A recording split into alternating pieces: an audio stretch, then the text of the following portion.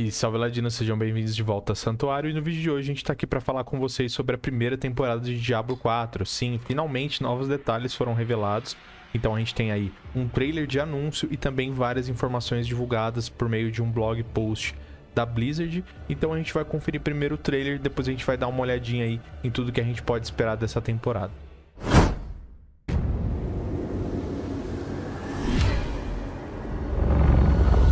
Estou escrevendo porque, embora um grande mal esteja recuando em Santuário, uma nova maldição está espalhando a própria corrupção pelo mundo. Mais perigosa, mais maligna do que eu poderia ter imaginado. Eu encontrei uma forma de deter essa praga, de arrancar o poder sombrio do âmago desses monstros e usá-lo a nosso favor para destruí-los.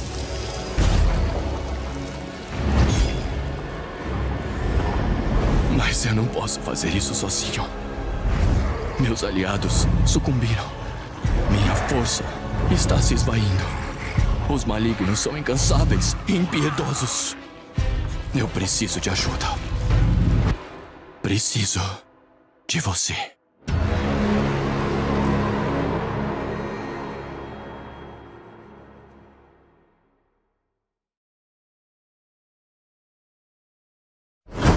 Então, pessoal, como vocês puderam ver, a gente vai começar aí a combater essa corrupção que está se espalhando por santuário a partir do dia 20 de julho, né? Às 14 horas de Brasília vai estar tá liberado aí para a gente poder se aventurar na primeira season, tá? Então, bastante empolgado aí para participar. Então aqui a gente tem, né, um blog post divulgado pela Blizzard que ainda está em inglês, né? Até o momento que eu estou gravando esse vídeo, logo após aí a apresentação, a gente ainda não tem esse conteúdo traduzido mas eu vou estar tá passando aqui com vocês por todos os pontos para que vocês fiquem aí sabendo o mais rápido possível aí de todas as novidades. Então aqui no primeiro parágrafo, pessoal, eles estão falando justamente disso, né, da data, é, que a gente vai ter uma nova season com uma questline própria, novos bosses, dungeons, o passe de batalha e também a gente vai ter aí novos conteúdos, incluindo seis novos itens únicos e novos lendários, é, aspectos lendários, né? Sete novos aspectos. Então, qual vai ser a temática dessa temporada, pessoal? A temporada aí dos malignos, ela vai se focar nessa corrupção que está se espalhando e afetando todos os monstros que a gente já conhece. Eles estão virando aí abominações decaídas, né? E estão entrando em frenesi por santuário. Então, o que, a gente vai fazer? A gente vai ter uma questline focada aí nessa temporada, no qual a gente vai ter a ajuda aí do Cormont, que é esse ex-padre aqui da Catedral da Luz, que vocês estão vendo, que é um personagem novo e ele vai instruir a gente a como capturar é, os corações malignos, né? Que seriam aí o coração dessas feras e criaturas que estão corrompidas. E a gente vai poder aí utilizar esses corações como uma nova fonte de poder. Sim, essa é a mecânica aí, né? Que vai alterar a gameplay um pouquinho dos nossos personagens, né? Exclusivo da temporada. Então aqui a gente tem aqui o trailer que a gente acabou de ver, né? E aqui a gente vai começar a ver um pouquinho mais a fundo o que, que a gente pode esperar. Então, o que, que vai acontecer? A gente vai ter essas anomalias aí dos monstros, a gente vai é, tá derrotando eles e coletando aí esse coração, né? Então, olha lá. Eliminando inimigos corrompidos, um tipo de monstro vai dropar aí o coração. Esses corações podem ser capturados performando um ritual com o Cage of Binding. Isso aqui deve ser como se fosse uma espécie de artefato, né? Ou algo do tipo que a gente vai estar tá adquirindo ali durante a questline da season, que vai nos ajudar aí a meio que limpar a corrupção e fazer a gente poder converter esse coração para ser utilizável, né? Então a gente vai ter um ritual e aí o que vai acontecer? No momento que a gente for utilizar isso para fazer esse ritual, pode ser que a gente seja atacado pelo inimigo totalmente corrompido, a gente vai estar tá lutando contra ele aí de novo. E derrotando essas amálgamas, né, de podres, a gente vai ter aí um drop da versão do coração que pode ser colocado num slot de item, tá, pessoal? Então, no socket lá das suas joias, né, você pode estar colocando no lugar de uma gema normal esse coração maligno aí já purificado, né? Então, nessa primeira season é, serão introduzidos 32 tipos, né? Através de quatro categorias aí vão conceder pra gente novos bônus únicos. Então aqui eles dão um breve discurso falando que eles pretendem é, manter esse sistema de alguma forma no futuro, né? A gente ainda não sabe como. Então aqui a gente tem uma imagem de como vai ser quando a gente derrotar ali o inimigo e ele dropar o coração, né? Então ele vai ter esse efeito aqui quando a gente conseguir dropar. Então, pessoal, aqui eles também comentam um pouquinho do seguinte: vão ter esses Malignant Tunnels, né? Túneis malignos ou algo do tipo, que são novas espécies aí de dungeons que a gente vai poder ficar repetindo, né? Para poder adquirir esses corações. Então, é uma das melhores fontes aí de drop desses corações. Inclusive, nessas masmorras a gente vai estar tá enfrentando aí um novo boss que é o Varshan, o Consumido. Aqui agora um pouquinho de como os personagens de temporada vão funcionar. A gente vai ter aí a opção, ao criar o personagem, né, de estar escolhendo ali o Seasonal Realm ou o Eternal Realm, que seria o que a gente está jogando atualmente, que é o, o, padrão, né? E aí, começando é, no dia 20 de julho, a gente vai ter que só se atentar a esses pontos aqui.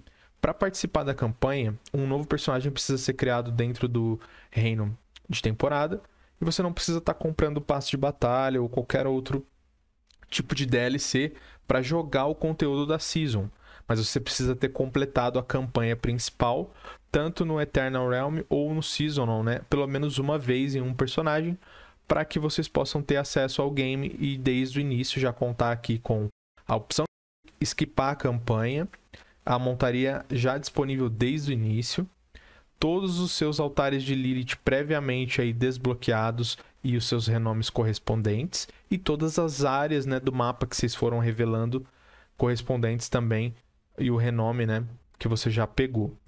O que foi dito lá no, na live, pessoal, é que o que, que acontece? Para que eles pudessem manter esse progresso, eles tiveram que adaptar um pouquinho. Então, o que, que a gente vai ter que fazer? A forma como eles encontraram da gente carregar esse progresso entre reinos vai ser o seguinte: antes de você criar o seu personagem da temporada, isso aqui é muito importante, você precisa logar todos os seus personagens que você tenha até o momento para que ele salve essas informações de tudo que você tem de renome desbloqueado na sua conta, para que quando você cria o personagem dentro da season, esse progresso seja carregado. Então, lembre-se de logar com os personagens ali antes de fazer a criação do personagem, né? Após a atualização da season, obviamente. Quando a season terminar, o personagem que você fez e todo o progresso dele vai ser transferido para o Eternal Realm, que é o, o reino padrão, né? todos os itens coletados, incluindo o seu é, baú de Season, porque na Season a gente tem abas de baú extras e isso vai ser carregado depois pro Eternal Realm, que é muito bom, porque a gente vai ter acumulado muito mais itens, né? É, então, referente, né, essas questões vai ser transferido. Agora, tipo, a questão dos corações, isso é uma mecânica da Season, isso não é carregado, tá? Isso é padrão de outros jogos também que tem esse mesmo modelo, ou até mesmo do Diablo 3 já era assim. E aqui eles fazem um breve comentário falando que é uma oportunidade de trazer novas mecânicas de gameplay bem interessantes.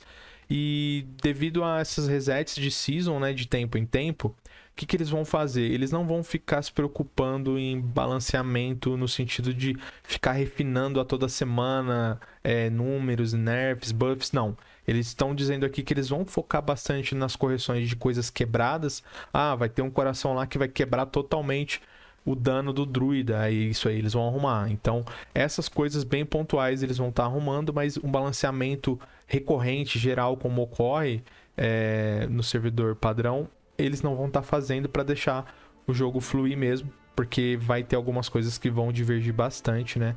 Do desempenho das classes no servidor padrão, devido a essas novas mecânicas. Depois aqui a gente tem um pouquinho das recompensas. Então, como que vai funcionar? A gente vai ter aqui é bem parecido com o Diablo 3, né? Então a gente vai ter um capítulo. Esse capítulo ele tem nove objetivos, que são esses aqui que vocês estão vendo desse lado. Completando esses objetivos, você vai ganhar uma quantia de favor, que serve para você avançar no seu passe ali de temporada. E também você vai desbloquear ao completar cada capítulo, você tem aí é, recompensas que vão ser aspectos lendários para você adicionar direto lá no seu códice é, caixas aí de suprimentos e também mais favor, né? Então a gente vai ter aqui alguns outros detalhes. A gente vai ter aqui o nosso passe de batalha com aí uma linha só, alguns itens aí gratuitos, outros pagos. Aqui a gente pode ver o nosso progresso aí na jornada da temporada, quando ela vai terminar, né? E aqui também a gente tem as nossas bênçãos aí das Ashes, né? Isso aqui eu vou, já vou explicar para vocês. Então a gente vai ter aí armor sets, co é, cosméticos, itens consumíveis, todo esse tipo de coisa a gente vai encontrar no passe. Mas o mais interessante de tudo aqui seria esse tal desse Scroll of Amnésia, né? Esse Scroll ele é um item que é consumível e ele vai garantir pra gente um reset da sua skill tree total, né? Então a árvore de habilidades vai ser resetada gratuitamente ao utilizar esse item.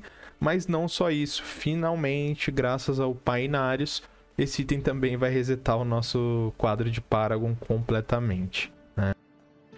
E também, obviamente, a gente vai ganhar Favor para ir avançando.